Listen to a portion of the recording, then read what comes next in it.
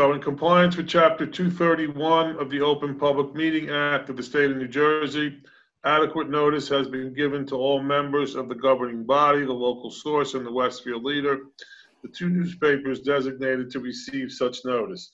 This notice is posted on the Borough Hall Bulletin Board. Matt, so far, no echo with that? No, there's no echo. Everything's pretty clear so far. Okay, very good. Okay, so let's start with an invocation from Councilwoman Pater. Dear Lord, as our country and communities continue on the path of recovery, please keep safe and well our first responders and all those working on our front lines. May those who have been affected by the coronavirus receive care and healing. For those we have lost, we pray for peace. We ask for your wisdom and guidance as we make decisions for our community this evening. Amen. Amen. Let's do a salute to the flag. I pledge allegiance to the flag of the United States of America, America, to to the the republic republic which which it which stands, stands one One nation, nation, under God, indivisible, indivisible, with liberty and and justice justice. for all. Okay, Martha, roll call. Councilwoman Andre is absent. Councilman Dirkus? Here. Councilman Messler? Here, Councilwoman Pacifico? Here. Councilwoman Pater? Here. Councilman Turner? Here, Okay, first, we have the approval of the minutes of the regular and executive session meeting on April 21st, uh, 2020. so moved.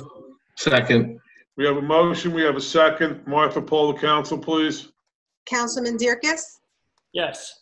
Councilman Messler? yes, Councilwoman Pacifico? Yes. Councilwoman Pater? Yes. Councilman Turner? Yes, Okay, next we have the uh, approval of the minutes for the work and executive session meeting on May 5th, 2020. so moved. second, Motion and a second. Martha, roll call, please. Councilman Dirkus? Yes.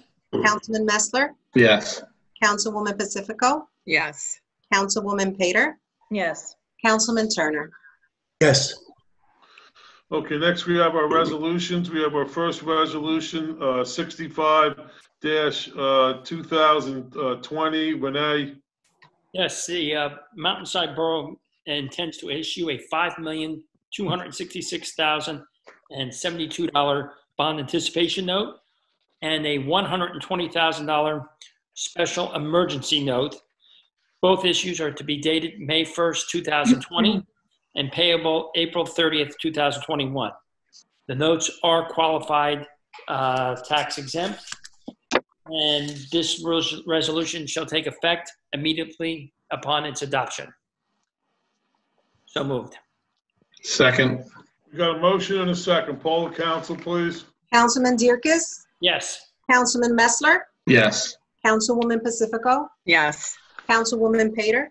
Yes. Councilman Turner? Yes, Okay, next we have, uh, resolution 66 dash 2020. Uh, Rachel?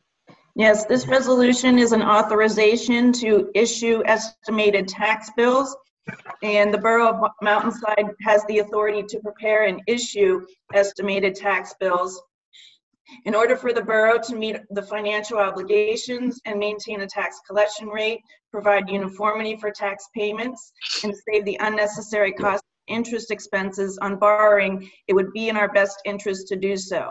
Our tax collector and our chief financial officer have reviewed and computed an estimated levy in accordance with NJSA 54:44-66.3.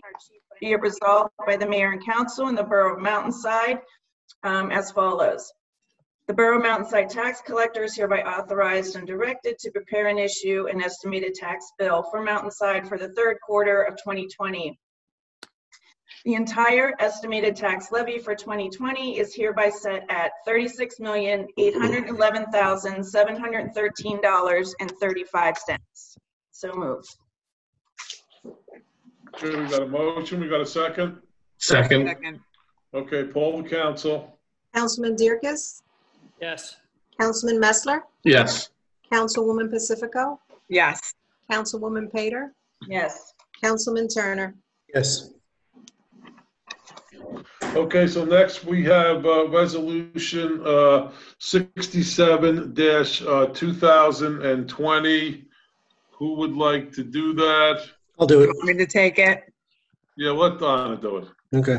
Whereas the Recreation Director, Frank Mazzella, requested the following refunds, and therefore be it resolved, the treasurer be authorized to issue the following refunds.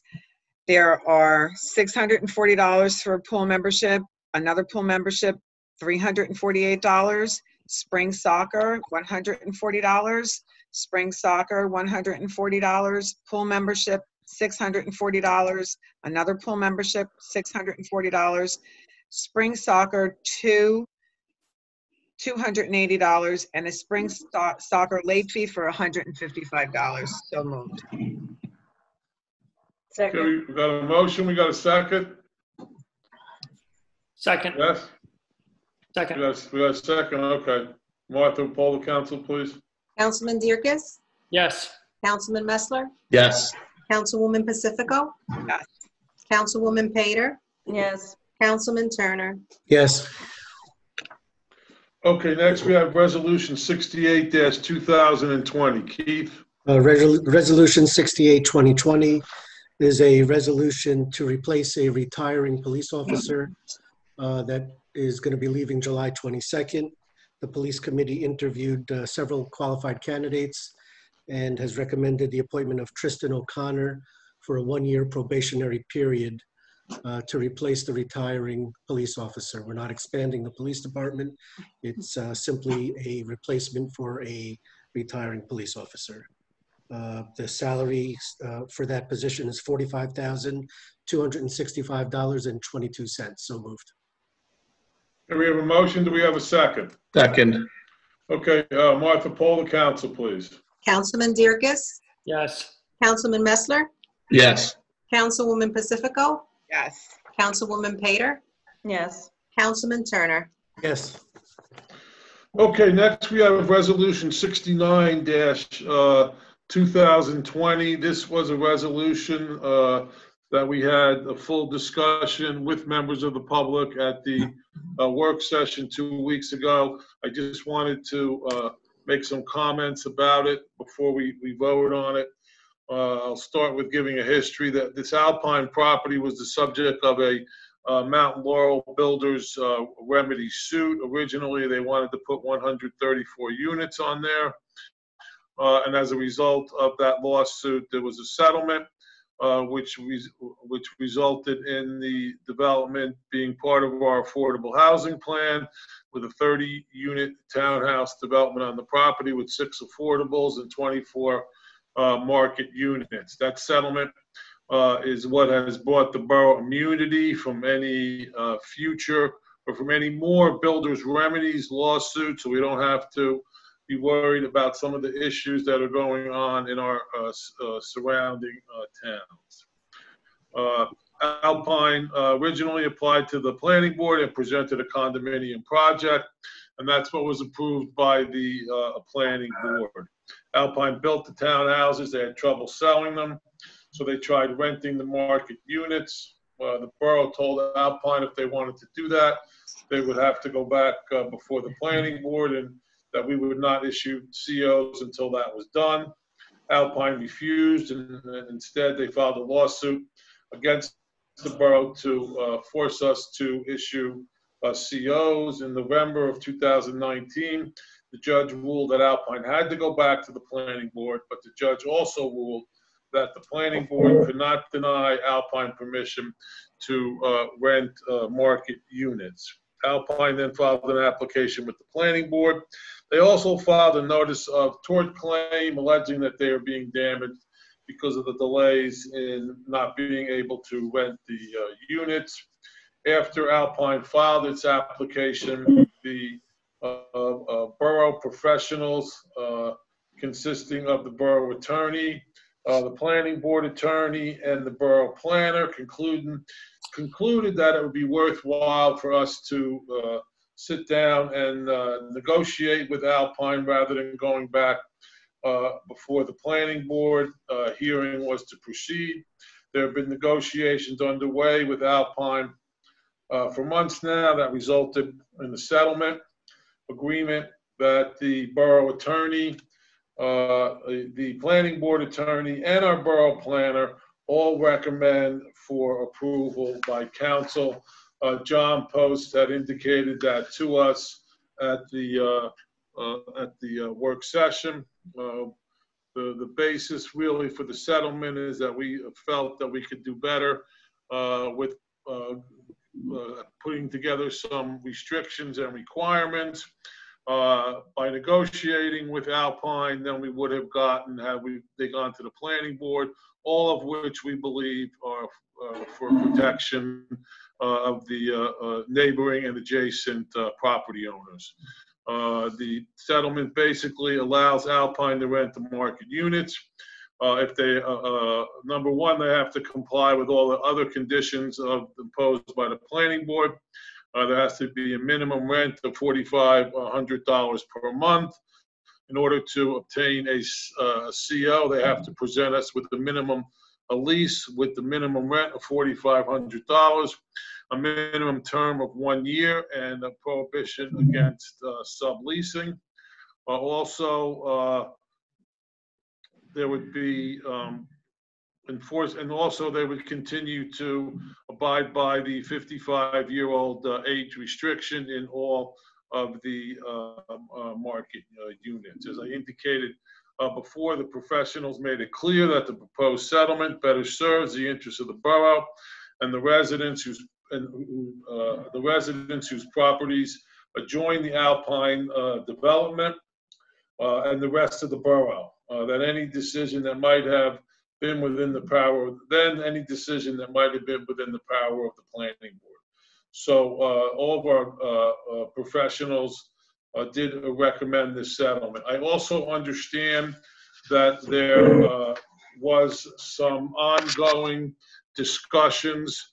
Actually, there, there was a meeting after our May 5th meeting uh, with uh, Mike Disco and uh, Matt Deanna uh, for the borough, uh, as well as uh, representatives of the developer, as well as the adjoining property owner, because they had some concerns about insufficient landscaping, some dead and dying landscaping, a sign concern, fencing questions, all of which I'm happy to report uh, Mike Disco, our borough engineer, went out there this afternoon to uh, do an inspection of the uh, property.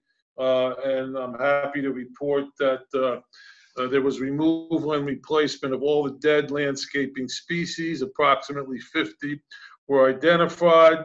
uh, And this was, activity was completed last week. The wood mulch landscaping maintenance throughout the entire project was completed uh, last week uh, replacement of all the gray colored fence posts and railing with black materials, uh, which I understand it makes the fence look much more appealing to the neighbors. That was also completed last week. There was additional trees planted uh, behind buildings two and three, including some plantings on the adjacent properties. These plantings supplemented the landscaping work installed in 2018, which was documented to be greater in numbers than approved, than on the approved plans. That was also completed last week. Gazebo was constructed near building number six. That was uh, actually done uh, the last couple of days. They completed the the paving of the asphalt driveway. Uh, That was also completed. The uh, Alpine Ridge sign was installed on, uh, I believe it's on Route 22. That's been completed. Uh, They completed the road-based paving uh, of the, and repaired the distressed asphalt. Again, this was just uh, completed in the last couple of days. They installed the street signs, again, just completed. They replaced the concrete island at the entrance, which was required by New Jersey DOT. That's been completed. The final paving and striping of Alpine throughout the site was also completed. The milling and final paving of the Route 22 sh- shoulder uh, as per New Jersey DOT was also completed. There was a television inspection of the site sanitary sewers, which uh, was done and they were satisfactory. Uh, The television manual inspection of the pre-existing storms, sewers, storm culverts, that was all done. Uh, So pretty much all of the improvements that the uh, adjacent property owners and any other deficiencies that uh, uh, Mike Disco, our borough engineer, came across uh, have all been uh, addressed uh, to Mike's uh, satisfaction, and I want to commend the developer for the, the, the- the amount of work that they've done in the, in the last two weeks. Uh, All of this leads me to believe uh, that uh, this is going to be a successful project. Uh, The builders want it to be a successful project. They're very proud of their work. That's why they went out there and did all the work they did in the last two weeks. So uh, as I indicated, uh, uh, maybe I didn't indicate last week, but certainly tonight, uh, it's my recommendation that we pass this resolution. Um, uh, I think it's the best for the borough. I think we're going to have a very successful site there. Uh, So um, I guess I need a motion now for this uh, uh, resolution. So moved. Second, Okay, we have a motion, we have a second. Poll the council, please. Councilman Dierkes, Yes. Councilman Messler, Yes. Councilwoman Pacifico, Yes. Councilwoman Pater, Yes. Councilman Turner. yes. Okay, so um, next we have the first reading uh, of an ordinance. Bob, why don't you explain to the public what we're trying to do with this ordinance? Sure. Uh, This is ordinance number 1285-2020. It's an ordinance to permit restaurants to utilize temporary outdoor dining areas in light of the COVID-19 pandemic. Um, Basically, because the governor's uh, order to shut restaurants and um, um, only offer takeout food, um, when they do open the restaurants back up, there'll be limited seating and um, it, this um, ordinance allowing restaurants uh, in town to have outside seating to uh, reduce capacity inside and to help with social distancing requirements. Um, the body, the governing body believes it's appropriate to establish, a mechanism that will enable the restaurants to more easily comply with applicable capacity and social distancing requirements.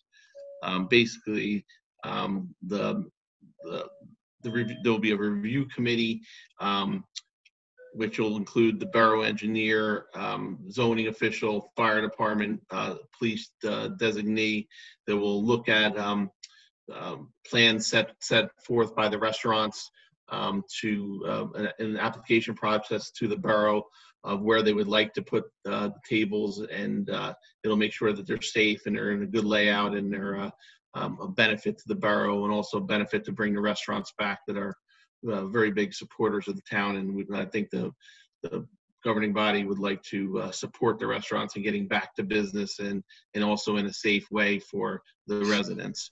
So um, I, I think it's a, a good idea and I think uh, it'll be a, a benefit to the town to help the, the businesses get back to uh, serving food and, and people going out.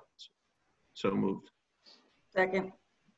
Uh, Everything that I have seen from all of the reports of uh, what I believe will be stage two of the governor's plan to reopen, all of them, when they talk about restaurants, feel that, that they're gonna, one of the things they're gonna do is, is, is recommend uh, uh, as much outdoor seating as possible. So I think this is a, is a good step, uh, as, as Councilman Messler said, to help our restaurants get, get back in, the- in, the- in the swing of things, uh, as long as they do it safely and, and, uh, practice, uh, appropriate social, distancing. So, And, and also, Mayor, this will, this will take effect when, you know, basically when the restaurants are allowed to open back up again and after approval of, of our, um, our committee. And also it'll end on November 1st of 2020. This is a temporary measure, not a permanent measure that will, um, you know, help them get through this year. So, so moved. okay, poll the council, please. Councilwoman, uh, I'm sorry, Councilman Dierkes, Yes. Councilman Messler, Yes. Councilwoman Pacifico, Yes. Councilwoman Pater, Yes. Councilman Turner. yes, Okay, so next we have bills and claims. Okay. Be it resolved by the mayor and council of the Borough of Mountainside that the following bills of the persons named and for the amounts stated below have been duly audited and found to be correct this 19th day of May 2020. Same be paid after a council's review if and when funds are available, and that the mayor, council president, administrator, and treasurer are hereby authorized and directed to sign and deliver warrants for the same, and that is in the amount of $125,810.03. Okay, we got a motion to pay the bills. We have a second. Second. second, Okay, uh, poll the council, please, Martha. Councilman Dierkes, Yes. Councilman Messler, Yes. Councilwoman Pacifico, Yes. Councilwoman Pater, Yes. Councilman Turner. yes. Okay, so at this point, do we have any council comments?